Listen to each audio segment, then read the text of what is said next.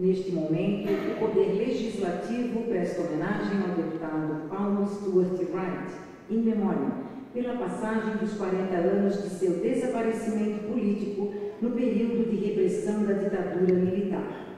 Deputado estadual, defensor dos interesses dos movimentos sociais, dedicou sua vida às causas nacionais e populares. Convido a senhora deputada Ângela Albino, acompanhada dos senhores deputados Ismael dos Santos e de seu Dreste Luciane Carminati, para fazer entrega da homenagem ao senhor João Paulo Wright, neste ato representando seu pai, deputado Paulo Stuart Wright, em memória.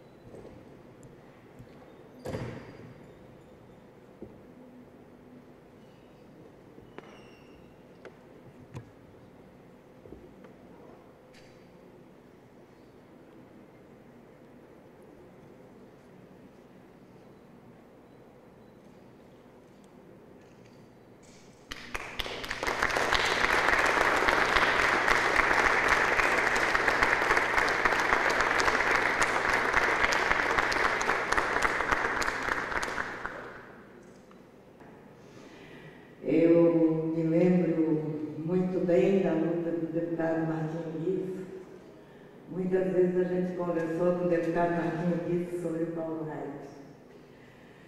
Quero cumprimentar o pessoal de Pernambuco, que veio tão longe, com tantas informações importantes.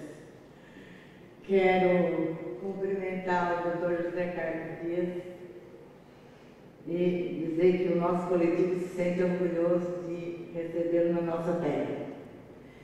E quero dar um abraço muito especial ao deputado Lina e ao deputado Tiago, quando nós fomos lá para conversar sobre a Comissão Municipal da Verdade, Cabelo Lei, eles nos receberam muito bem. E a Comissão Municipal da Verdade vai sair, tem uma tarefa muito grande, que é investigar o assassinato do Hamilton Cunha, um menino daqui do Morro, que foi assassinado na frente de uma gráfica porque era militante da VPR. Meus companheiros do coletivo, eu falo aqui, como disse a deputada Ângela, em nome do coletivo catarinense Memória, Verdade e Justiça, que organizou essa semana. Uma vez perguntado para Steve, Steven Spielberg por que ele tinha feito o filme A Lista de Schindler. É, campo de concentração é uma coisa tão batida. Né? E o Spielberg disse que tinha feito o filme porque era preciso lembrar, lembrar e lembrar. E no Brasil e em Santa Catarina, nós precisamos lembrar e precisamos contar. Precisamos lembrar e precisamos contar. Porque, como se diz comumente, o povo que não conhece a sua história tende a repeti-la. E essa casa é o exemplo disso, né, deputado Sai? Bastante nos ajudou nessa luta da rodovia. A Assembleia caçou Paulo em 64 e caçou de novo em 2011. Bem rapidinho.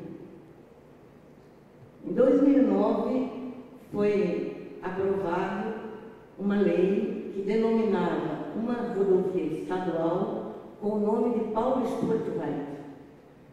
O deputado Pedro Sai estava no plenário nesse dia. Qual foi o nosso. A, a lei foi sancionada pelo governador dia 17 de janeiro de 2010.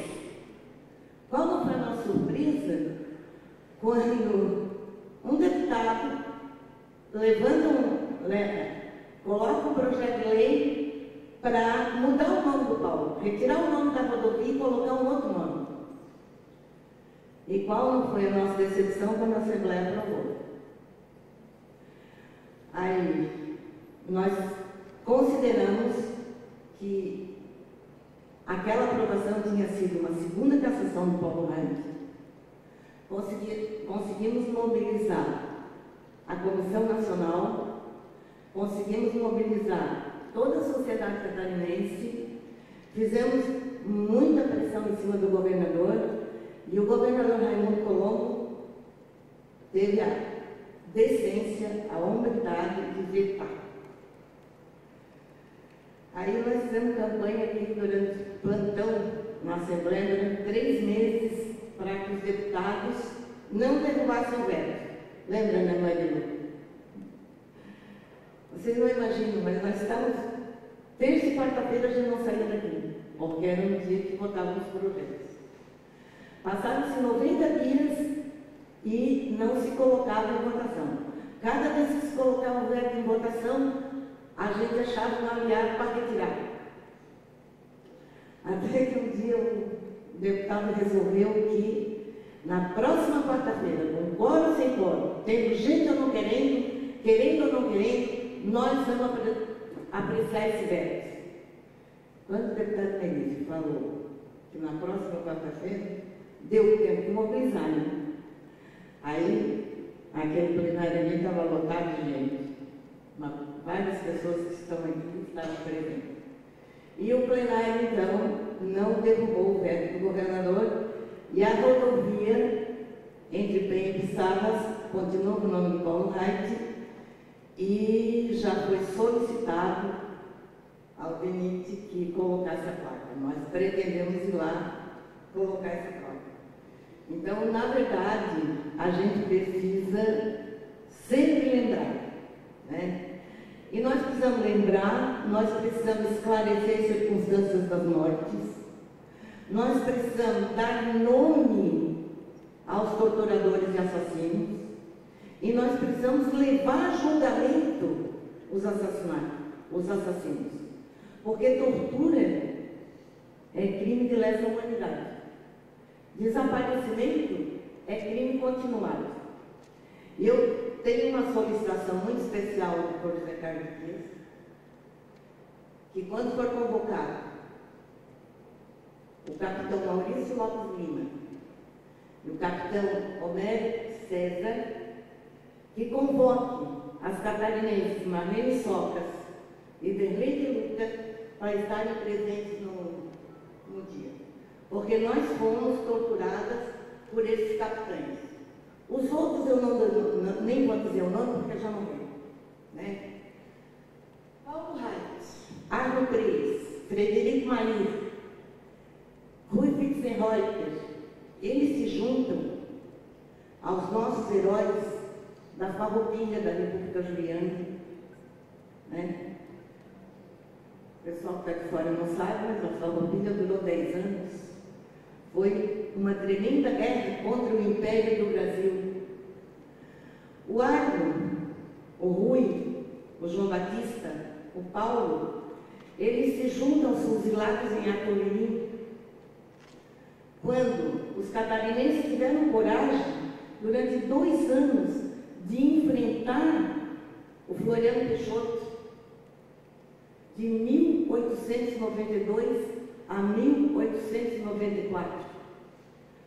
O Agno, Frederico Maíro, João Batista, Paulo Reit, Rui Senhor, eles se juntam aos camponeses da Guerra do Contestado, que enfrentaram a República Brasileira durante quatro anos. Todo o Exército Brasileiro. Foi a primeira vez que o Exército Brasileiro usou a aviação para metralhar pessoas camponeses da terra aí da deputada Luciane, deputado Stai, deputado Seu todo o oeste catarinense. Nós sabemos que a Comissão Nacional da Verdade tem prazo para terminar.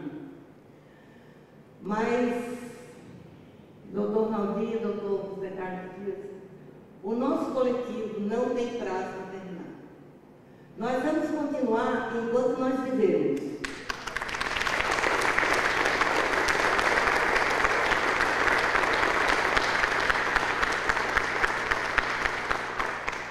E depois que a gente não tiver mais aqui, que a gente morrer, tem uma porção de jovens que fazem parte do coletivo. Porque de antigo mesmo ali só tem eu. Né? A maioria é tudo jovem. A maioria é tudo jovem. Então, a Comissão da Verdade Nacional e Estadual tem prazo para terminar. Mas nós não temos prazo para continuar lutando pelos nossos heróis catarinenses. Não é, Cadu? Muito obrigada.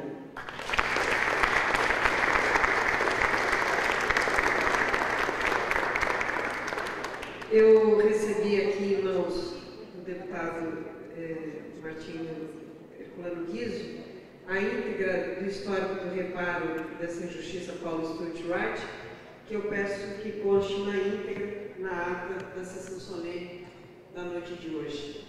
E convido para fazer uso da palavra o senhor João Paulo Wright, esse ato representando seu pai, o deputado estadual Paulo Stuart Wright,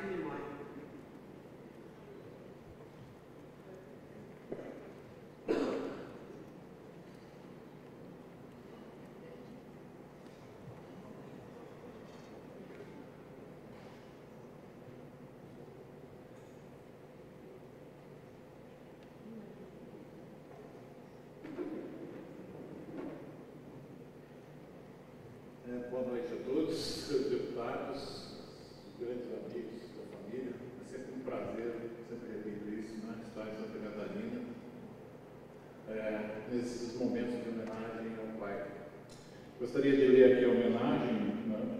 Então, Assembleia Legislativa do Estado de Santa Catarina, o Poder Legislativo Catarinense, em sessão especial, presta homenagem ao excelentíssimo senhor Paulo Stuart Wright, em memória pela passagem dos 40 anos seu desaparecimento político no período de repressão da ditadura militar. Deputado estadual, defensor dos interesses dos movimentos sociais, dedicou sua vida às causas nacionais e populares. Paulo Stuart Wright, presente, agora e sempre. Florianópolis, 4 de setembro de 2013. Muito obrigado.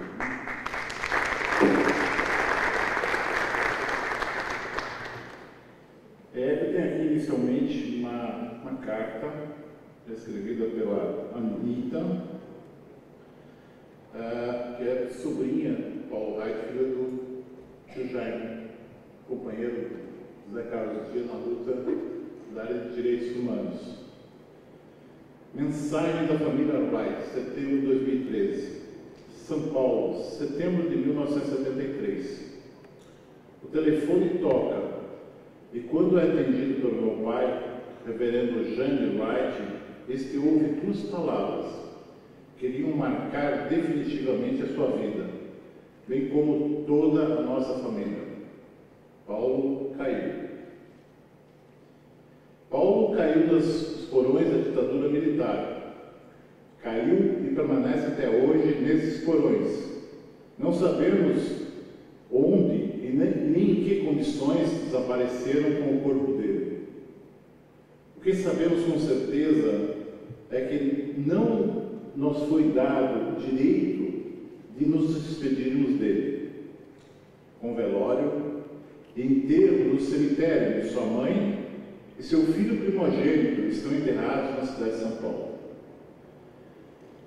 E como foi com Moisés, que foi chamado por Deus a libertar e conduzir seu povo em direção à terra prometida, numa caminhada de 40 anos pelo deserto, sendo guiados de dia por uma coluna de nuvens que lhes davam sombra ao sol causticante, e de noite por uma coluna de fogo que iluminava e aquecia o povo, assim tem sido com a família Wright, que há 40 anos atravessa o vale da sombra da morte de Paul Stuart Wright. Um homem admirado por dedicar sua vida à prática do amor ao próximo e à luta contra as injustiças sociais e econômicas.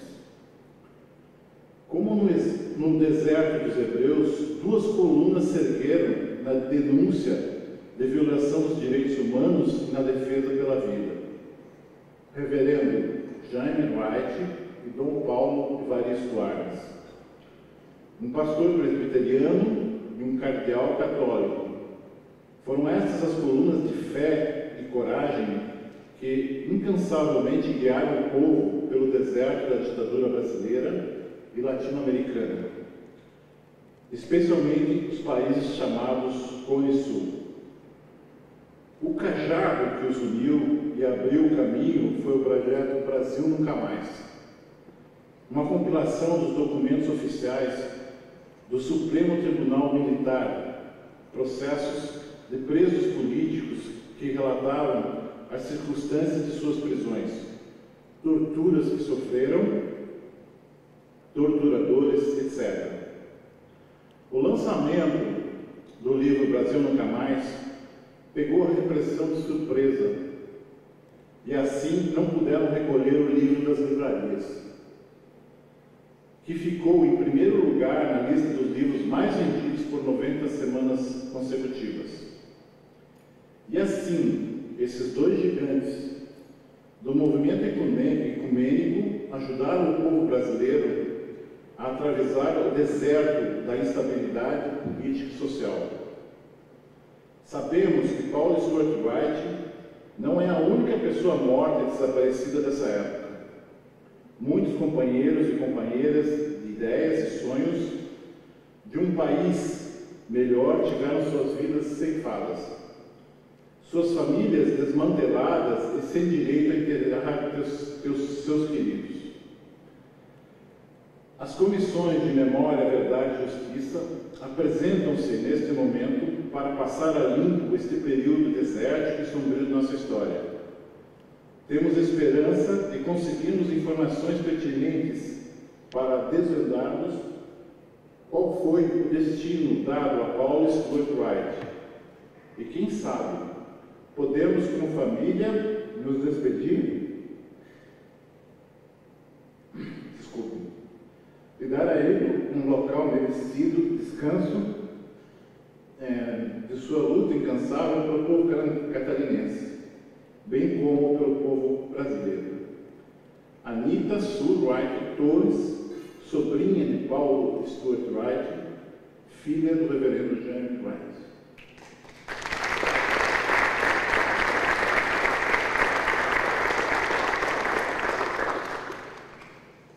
É,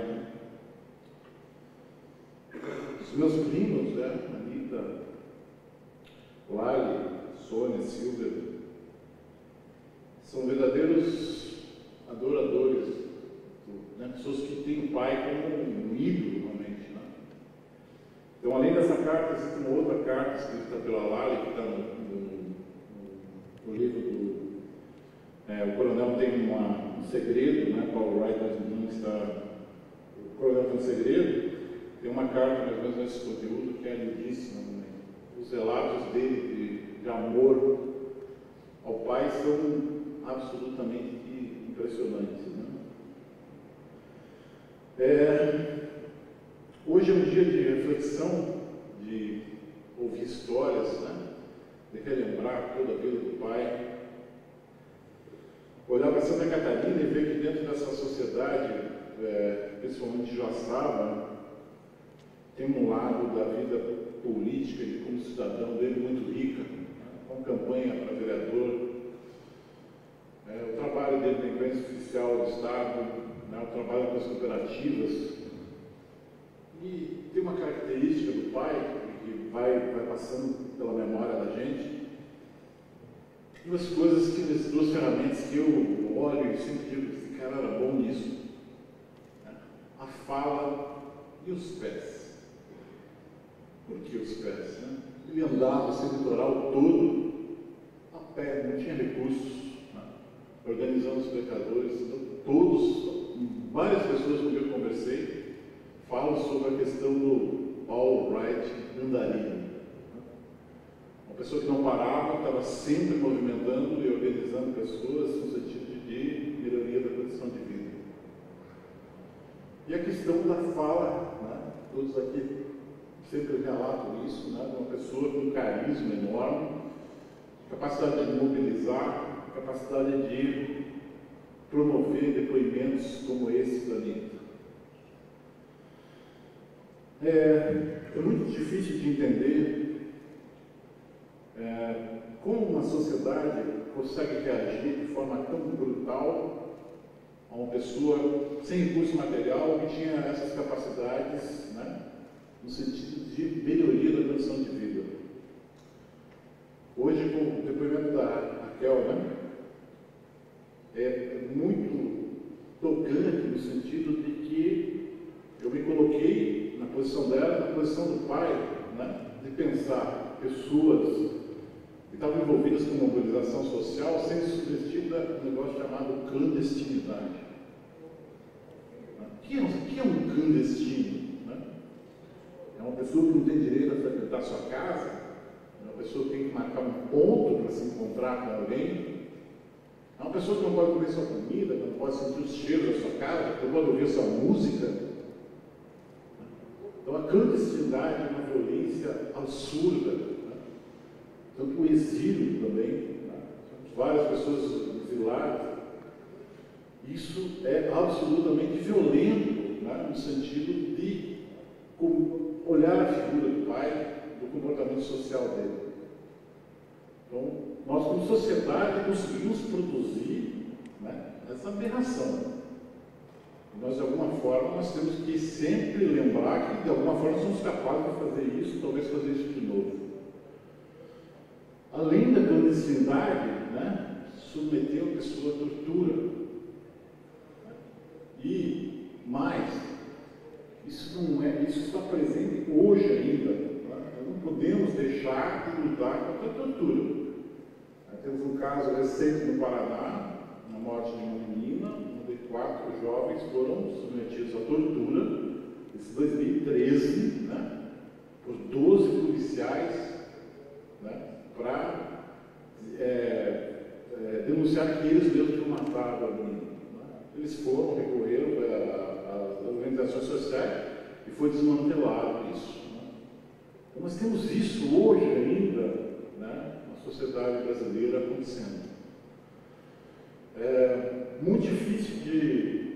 É, minha dor é, é, ouvir as histórias que eu ouço do pai e ver por que, que essa sociedade deu esse tratamento brutal para ele. Muito difícil de ter qualquer explicação.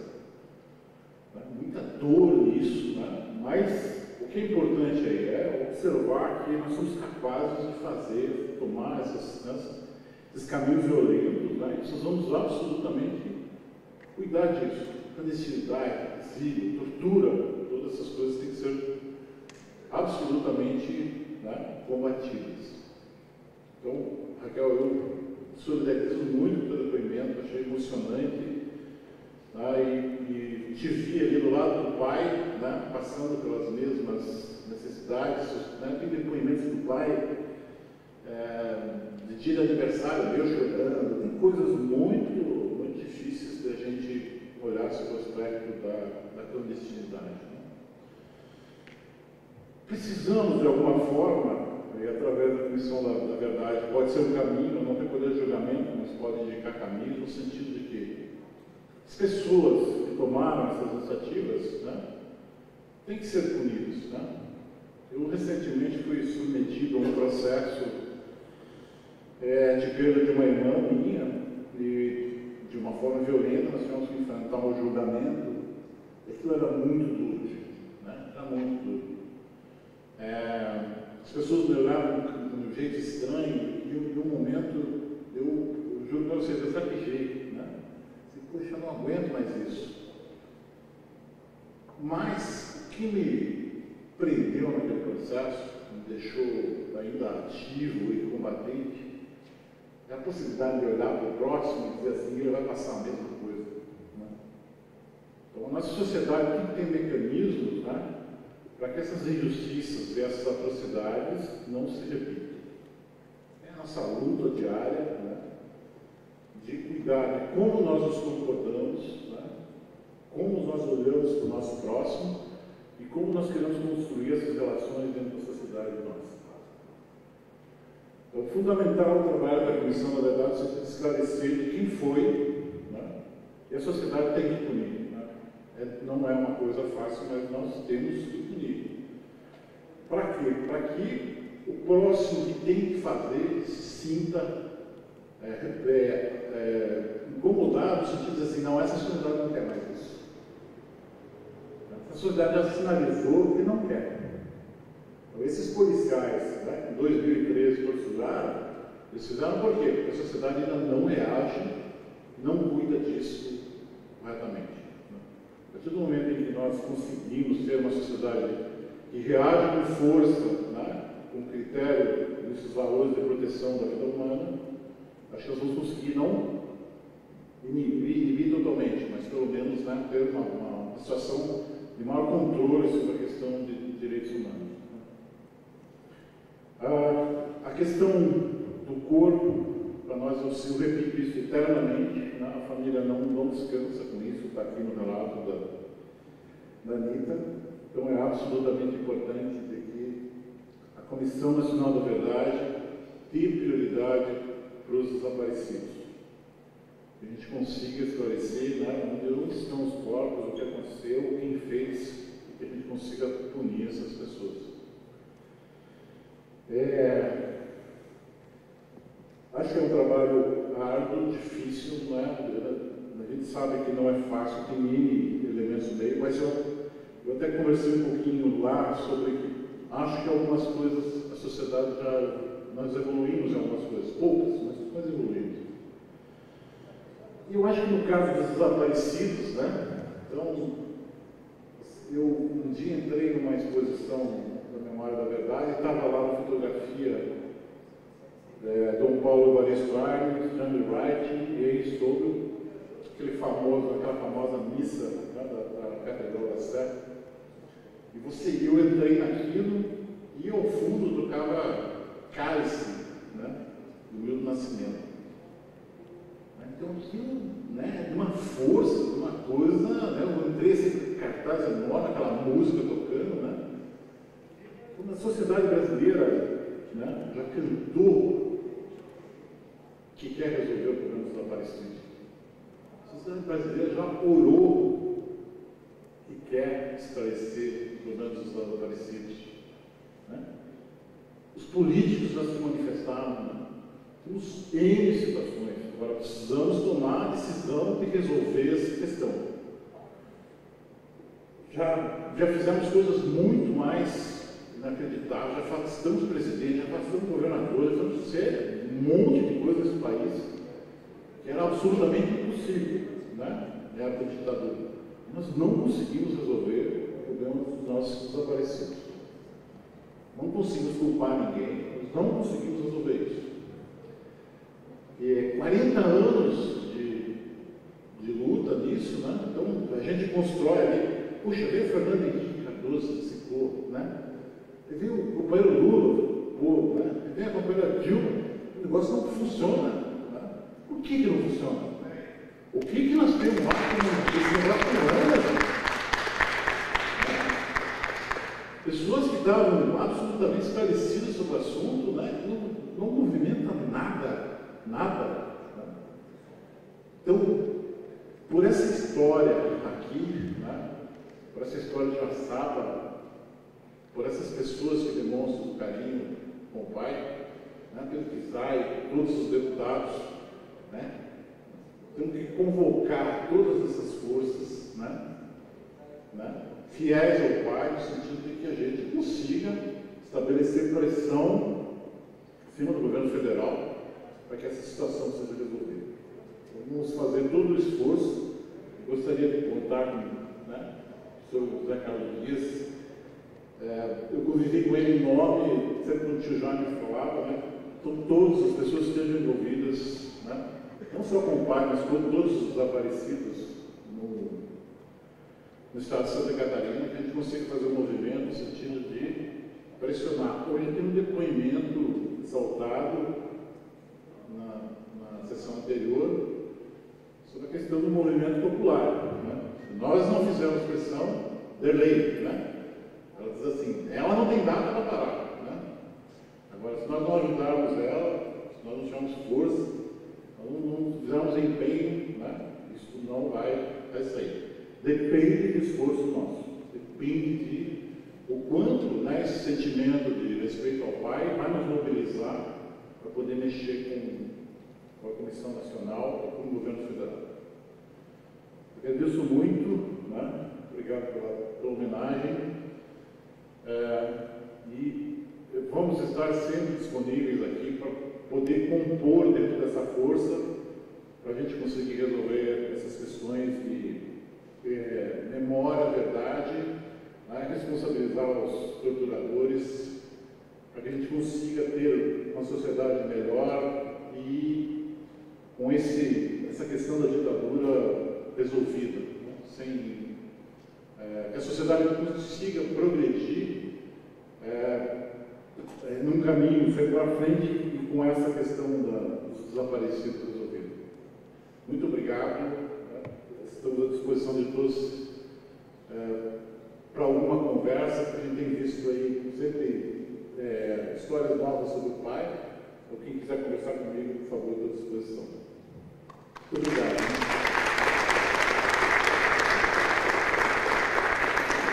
Obrigada, João Paulo. Em seu nome, Assembleia Legislativa cumprimenta toda a família.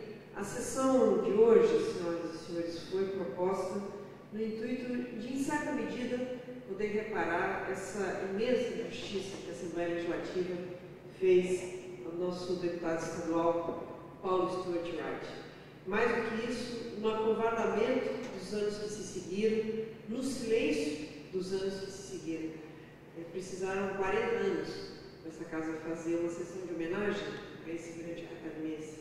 Esse ato formal, que hoje aqui nós conhecemos um pouco mais da história, de 1985, que lhe restabeleceu os direitos políticos, também precisamos nos lembrar de outras cassações.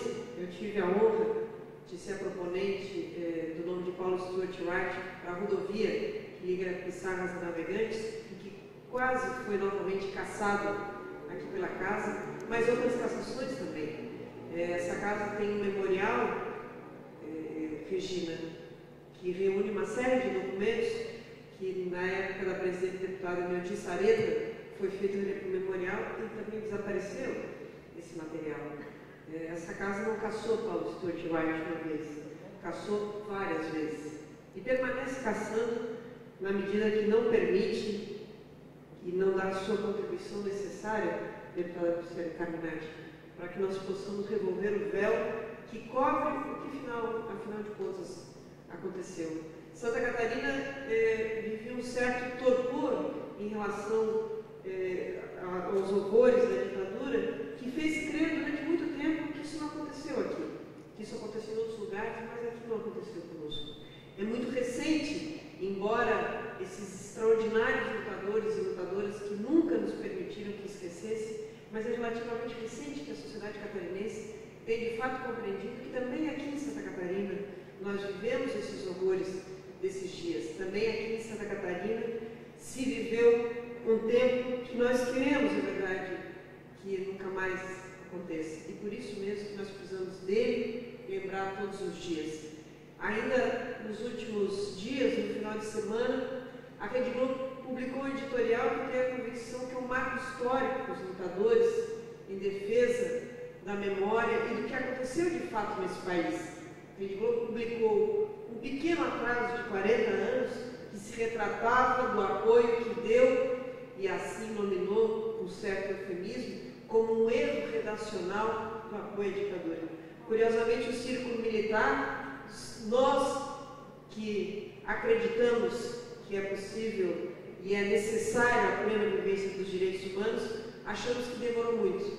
O círculo militar também achou que foi demais na nota da Rede Globo e disse a Rede Globo não só apoiou antes, como durante, como depois, e 20 anos depois o Roberto Marinho fez editorial dizendo que foi boa e que continuou apoiando.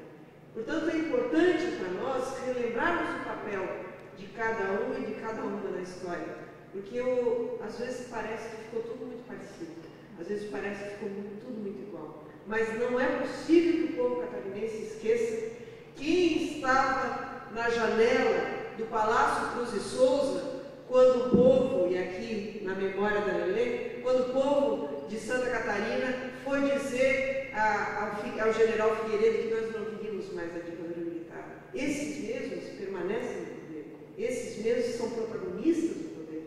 E, portanto, essa luta de quem acredita que é preciso de fato enterrar esse passado, mas não no sentido de escondê-lo, ao contrário, no sentido de revolvê-lo para que ele não aconteça mais, essa luta é sempre atual. Porque os que estavam do outro lado continuam a ter um papel de grande protagonismo na política. Muitas vezes, por isso, as forças que se movimentam, movimentam numa velocidade aquém do que nós queremos.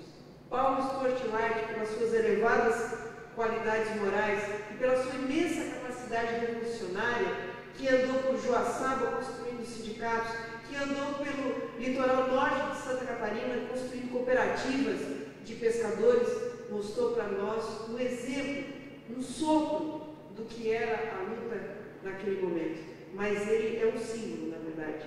Por, a, além desse nome extraordinário, outros homens e outras mulheres viveram esses horrores aqui no nosso estado. E hoje eu ouvi com muito acerto, ainda na reunião da Comissão da Verdade, aqui presidida pela deputada Luciane Carminati, que de fato nós não temos nessa casa ainda nenhuma referência a esse episódio. Temos um belo quadro, um nome uma citação extraordinária Paulo Stuart Wright, mas nenhuma referência que essa casa fez. Portanto, João Paulo, receba do Parlamento Catarinense a nossa meia-culpa. Receba do Parlamento Catarinense a nossa vergonha que um dia esse plenário tenha se curvado aos horrores dos que disseram que era preciso caçar Paulo Stuart Wright. Receba do Parlamento Catarinense, em nome do teu Pai, em nome de todos os que tomaram aqui no nosso Estado, defendendo a democracia do país, o nosso desejo que esses dias nunca mais aconteçam, que a nossa herança de vergonha se transforme numa herança para as outras gerações de dizer que de fato isso não vai mais acontecer no nosso país, que nós todos, independente das gerações que estão presentes aqui, defenderemos a democracia não só como princípio, mas como uma plena vivência dos direitos humanos. Nisso, a Assembleia Legislativa hoje se orgulha de fazer essa homenagem. A Assembleia Legislativa, 40 anos depois, tal qual outras instituições desse país, com algum atraso, mas com grande reconhecimento, veio Paulo Stuart Wright, esse homem extraordinário que nos orgulha, esse mesmo plenário que um dia caçou seu mandato, seus direitos políticos e, e praticamente ofertou a morte, esse mesmo parlamento hoje rende as suas homenagens e diz que errou. E errando, não vai permanecer com erro e não tem compromisso com esse erro. Da Assembleia Legislativa, toda a honra, a presença sempre entre nós de Paulo Stuart Wright.